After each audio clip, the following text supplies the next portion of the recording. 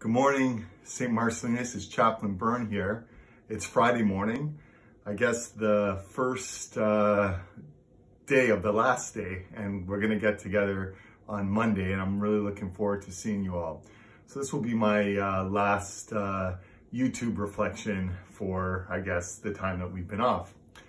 I always like January for a whole bunch of reasons. Number one is it's the new year. Uh, number two, uh, there's a lot of great activities out that you can do in January, skating, for example, when the ice freezes. But number three, I really enjoy clementines, okay?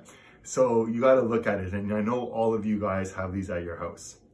They're a beautiful fruit because uh, they are really easy to peel.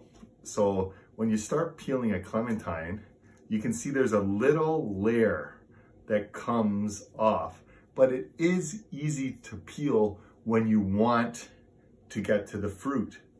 And as you all know, as you peel back this little layer, there is the beautiful fruit inside.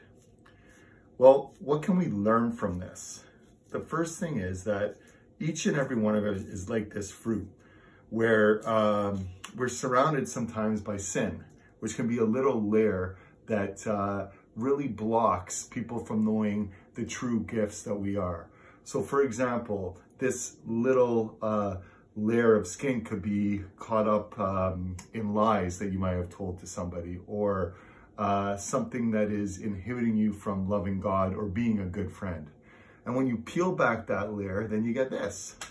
And this is the fruit uh, that we all want, right? It would be great to have it right away, but we have to take the little layer off in order to get the beauty.